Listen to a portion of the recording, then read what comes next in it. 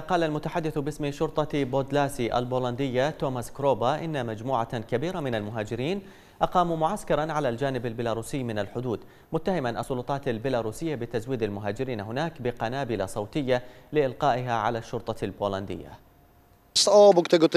بالقرب من معبر بيلاروسيا الحدودي أقامت مجموعة من المهاجرين معسكرا. الخيام مكشوفة وهناك حرائق مشتعلة.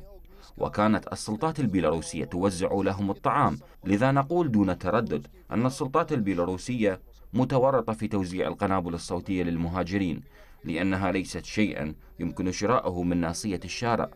لابد أن شخصا ما أعطاها لهم.